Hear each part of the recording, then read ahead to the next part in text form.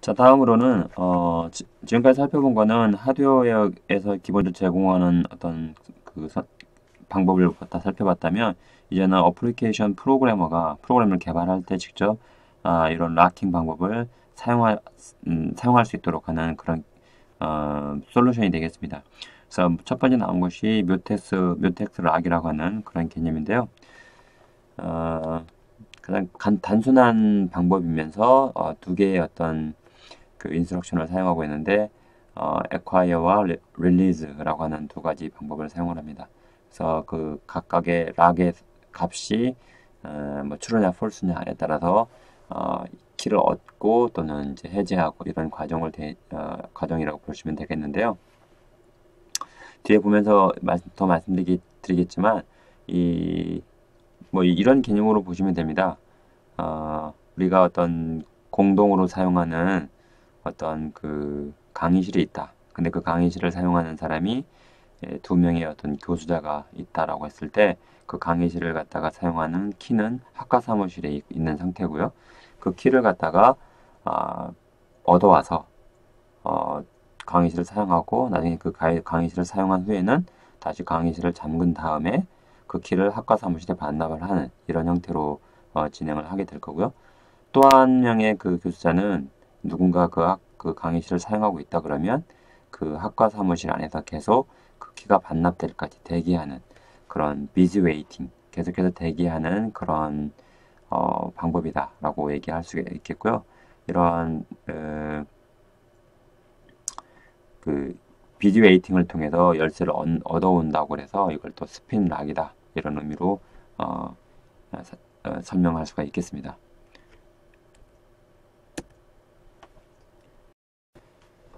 그래서 앞에서 그 하드웨어적인 방법은 좀 다르게 available이라고 하는 이 답변수 같은 경우를 한번 살펴보면 우리가 키를 얻겠다라는 동작은 결국 어떤 거냐면 이 available하는 그 변수값을 체크하는 겁니다.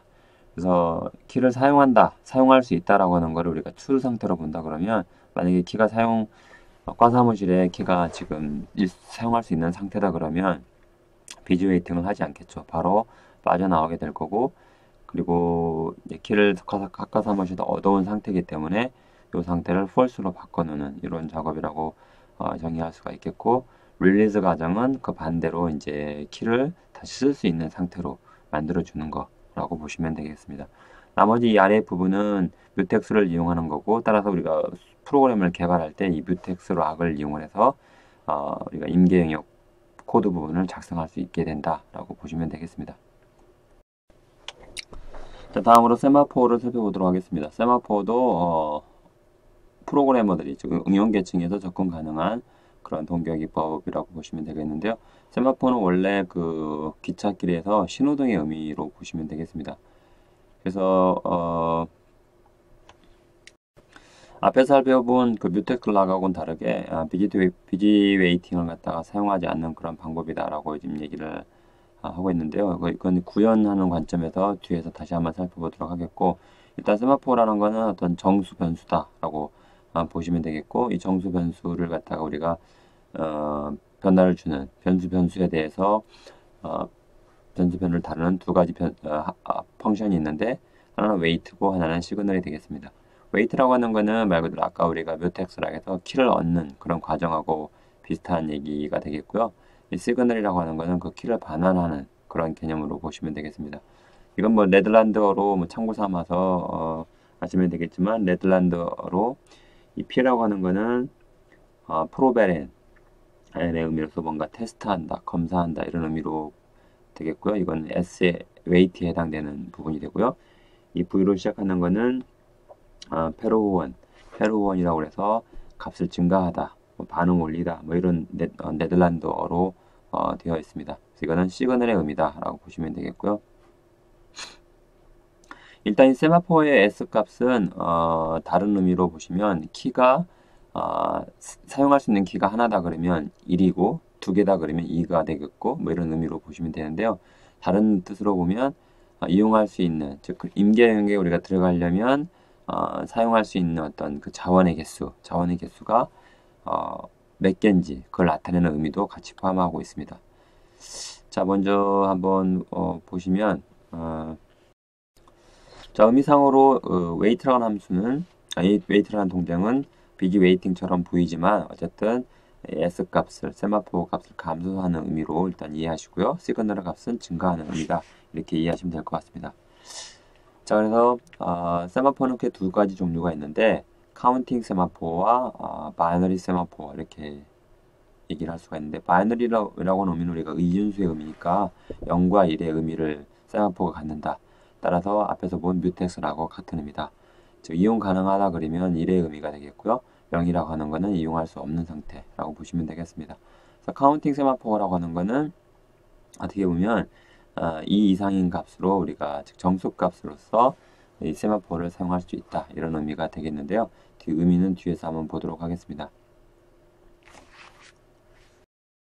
자, 그래서 앞에서 살펴본 어, 뮤텍스 락, 락에 비해서는 상대적으로 이 세마포가 어, 어떻게 보면 이용할 수 있는 범위가 훨씬 넓다라고 얘기할 수가 있겠죠. 그래서 여기 보면 그 하나의 어떤 그 임계 영역이 꼭 들어가는 그런 그 용도뿐만 아니라 여기서는 추가로 어떤 일의 순서 어, 두 개의 프로세스 P1과 P2가 있는데 각각이 얘네들이 그 어떤 특수한 문장, 특수한 코드를 수행할 때 어떤 순서에 맞게끔 수행이 되게끔 이 semaphore를 이용한 예가 되겠습니다. 예를 들면 P1 같은 경우에는 S1이라고 하는 그런 코드 부분을 갖다 먼저 수행을 하고 있고요.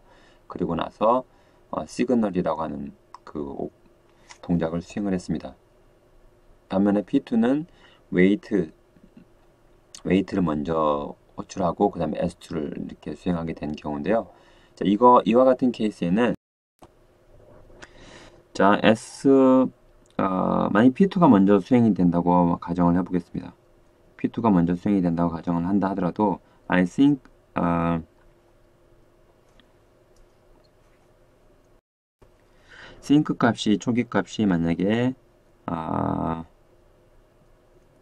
0이었다면 wait 값은 어, wait 동작에 있어서 어, 다음으로 넘어가지 않습니다. 싱크 값이 0이었기 때문에 계속 busy waiting 상태로 존재를 하게끔 되겠고요. 그 이후에 P1이 수행이 됩니다. P1은 특별한 그 어, 제한이 없었기 때문에 S1을 문장을 먼저 수행을 하겠죠. 그래서 이 부분에서 어떤 특정한 코드가 수행이 되고요. 다음에 그리고 나 수행이 말, 아, 끝나고 난 다음에 시그널을 호출하게 됩니다. 그래서 시그널이 호출가 됐기 때문에 이 상태에서 이 싱크 값은 어, 1로 바뀌게 됩니다. 증가가 되기 때문에. 따라서 증가가 되게 되면 어, 대기하고 있던 P2가 wait 값이 이미 1로 증가됐기 때문에 이 증가된 값을 감소시키면서 S2를 수행하게 됩니다. 따라서 결론적으로 프로세스 P1이 늦게 들었다 하더라도 실행의 순서는 어, S1부터 수행이 되고 그 다음에 프로세스 2의 S2 부분이 코드가 수행이 되는 이런 어떤 일의 순서를 결정하는데도 이 semaphore가 사용이 된다라고 어, 우리가 사용의 범위가 넓다라는 의미로 예를 어, 들었습니다.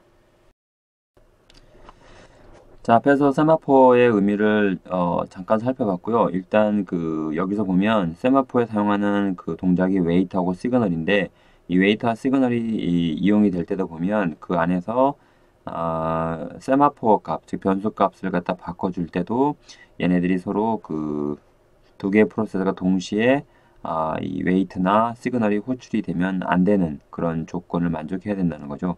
그래서 이런 부분을 그 어, 만족시켜주기 위해서 어, 두 가지 방법이 있는데 첫 번째는 가장 단순한 방법인 이 busy waiting을 이용해서 우리가 아, 구현을 했습니다. 그래서 busy waiting 같은 경우에는 구현이 간단하고 아, 그 임계 영역, 임계 영역, 즉 키를 얻고 나서 임계 영역을 수행하는 이런 부분이 굉장히 그 드물 때, 아, 작을 때 우리가 쓸 수 있는 그런 방법이죠. 짧은 그 대기를 그 함으로써 바로 임계 영역에 들어갈 수 있는 경우다 그러면 이 busy waiting도 어, 상대적으로 좋은 기법이다. 그렇지만은 아, 대부분의 경우에는 그 임계 영역에서 많은 프로세스들이 오랜 시간 동안 상대적으로 오랜 시간 동안 임, 그 임계 영역 즉 그 코드 부분을 수행하게 된다 그러면 이 busy waiting은 적당한 어떤 솔루션이 아니다라고 얘기가 할 수 있겠고요. 따라서 어, 실제 구현하는 방법은 이 그 block이나 이 wakeup을 통해 가지고 아, 이 semaphore를 구현하게 됩니다. 한번 코드를 살펴보시면 아, 어, 뭐 간단한 방법은 일단 우리가 프로세스가 아, 여러 개의 프로세스가 하나의 CPU를 갖다 공유를 하고 있기 때문에 그 공유한다는 관점에서 보면 얘네들이 무한정 대기하는 거를 막겠다는 거죠. 그래서 여기 좀 코드를 잠깐 보시면 만약에 wait가 호출이 됐다. 그럼 wait가 호출이 되면 아, value 값을 감소를 시키고, 시켜주고요. 그리고 난 다음에 그 대기하고 있는 프로세스를 살펴봅니다. 그래서 만약에 이 지금 그 감소를 시켰다는 얘기는 요, 요 프로세스를 갖다가 이 프로세스에서 어, 그 키 값을 갖다가 사용하겠다는 그런 의미가 될 텐데요. 일단 만약에 그 키 값이 만약에 0보다 작게 된다 그러면 아, 우리가 생각 그 있을 수 있는 키를 다 사용한 사용했다는 얘기죠. 더 이상 쓸 수 있는 키가 없다라는 그런 의미가 되는 거고 이때 무조건 대기할 것이 아니라 이렇게 블록 상태에 빠지게 되면 블록 상태로 어, 들어가게 해 놓으면 어때요? 현재 사용되는 프로세스는 어, run 상태에서 어, wait 상태로 빠지겠죠. 그러면 그 CPU를 누군가가 다른 프로세서가 어, 다른 프로세서가 CPU를 사용하는 이런 scheduling이 발생하게 될 겁니다. 그래서 이러한 그 아니, 문맥 전환이죠. 문맥 교환이 이루, 이루어질 거고 따라서 CPU 이용률을 높일 수 있는 그런 개념이 된다는 거죠. 그래서 나머지 동작은 똑같고 다만 에, semaphore의 그 오랜 대기를 갖다가 이 block이라든지 아, 이런 wakeup 아, 어, 동작을 통해 가지고 불필요한 CPU의 낭, 이용의 낭비를 막고자 하는 그런 기, 음, 기, 방법으로 구현이 된다라고 보시면 되겠습니다. 참고로 wakeup 같은 경우는 대기하고 있는 프로세스가 있다 그러면 제가 아까 블록 상태에 빠져 있는 프로세스가 있다 그러면 그 프로세스를 이렇게 깨우는 그런 역할이라고 보시면 되겠습니다. 자, 정리를 하자면 앞에서 어, 그 단순히 busy waiting을 통해 가지고 우리가 semaphore를 만들 수도 있지만 상대적으로 그런 식으로 그 열쇠를 즉 키를 얻기 위한 오랜 대기는 시스템에 부담이 주기, 줄 수가 있고 임계 영역에 들어간 프로세스 상대적으로 길기 때문에 오랜 시간 대기하는 건 문제가 된다라는 거죠. 따라서 CPU 이용률을 높이기 위해서는 이와 같은 방법으로 어, 블록이나 웨이크업을 통해 가지고 어, 불필요한 그 대기를 막고 어, CPU 이용률을 높여주는 그런 방법으로 구현이 된다라고 정리하시면 되겠습니다. 자, 이어서 semaphore와 관련된 몇 가지 이슈들을 더 살펴보도록 하겠습니다. 우리가 이제 다음 7장에서도 배우게 될 교착 상태, deadlock이라는 거 하고 그 다음에 기아 상태, starvation에 관한 부분인데요. 먼저 deadlock이라고 하는 거는 여기 지금 나와 있는 것처럼 하나 이상의 아니 둘 이상의 프로세스들이 무한정 대기하는 그런 상황을 얘기합니다. 뭘 대기 무한정 대기하게 되냐면 어떤 특정한 이벤트가 발생이 되기를 바라고 있는데요. 그 이벤트도 역시 대기하고 있는 대기하고 있는 프로세스 중에 하나가 아, 그 이벤트를 발생해 줘야 되는데 그 프로세스도 대기를 하고 있기 때문에 그 이벤트가 계속해서 발생되지 않은 따라서 전체적으로 시스템에 있는 모든 프로세스들이 어, 무한정 대기하는 이런 상황에 빠지게 된다는 거죠. 그래서 이런 경우 시스템이 deadlock 됐다, 즉 교착 상태에 빠졌다라고 어, 얘기를 할 수가 있겠습니다. 자, 이런 경우가 발생할 수가 있는데 여기 밑에 간단한 예를 보도록 하겠습니다. 두 개의 프로세스가 지금 P0와 P1이 있고요. 각각 두 개의 semaphore S와 Q가 있는데 각각 초기 값은 1로 되어 있습니다. 자, 1로 되어 있다는 얘기는 두 개의 어떻게 보면 열쇠를 쓸 수 있는 그런 상황이라고 보시면 되겠는데요. 지금 P0가 먼저 수행이 되면서 어, wait S를 했습니다. 즉 키를 쓰겠다라고 지금 선언을 했는데 이때 만약에 어, P1도 어, 문맥 전환이 일어나서 P1이 수행이 되면서 Q1을 어, wait Q를 한 상태입니다. 그러면 이제 키 S와 키 Q가 아, 두 개가 모두 다 0이 된 상태가 되겠죠.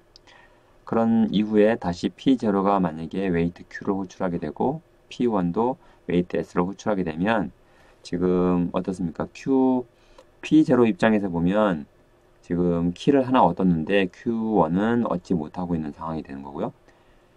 어, P 프로세스 P1 입장에서 보면 키를 하나 Q는 얻었는데 S를 얻지 못하는 서로 각각 키는 가지고 있지만 얻지 못하는 상황이 돼서 그 다음으로 계속 진행을 할 수 없는 그런 상황이 발생하게 됩니다.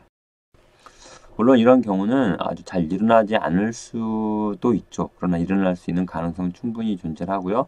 자, 이런 경우를 우리가 deadlock 상태다라는 거죠. 더 이상 진행할 수가 없는 상태라고 보시면 되겠고요. 두 번째 어, 기아 상태, starvation인데 이거는 무한정 어, blocking, 무한정 대기라고 보시면 되겠습니다. 어, 그래서 그 semaphore를 얻기 위해서 그 semaphore 큐에 들어가서 대기를 할 수가 있는데 결국 그 큐로부터 빠져나오지 못하는 상태. 그래서 그 프로세스는 어, 더 이상 일을 하지 못하고 어떻게 보면 뭐 굶어 죽는다, 기아 상태가 된다라는 그런 의미로 보시면 되겠습니다. 아, 여기서 주의할 것은 어, starvation이 된다고 해서 deadlock 상태는 아닙니다. 즉 deadlock 상태인 경우는 starvation이 발생할 수 있지만 deadlock 상태가 아니라 하더라도 즉 시스템이 교착 상태가 아니라 하더라도 어, 수행되고 있는 프로세스 중에 특정 프로세스가 어, 기아 상태에 빠질 수가 있게 됩니다.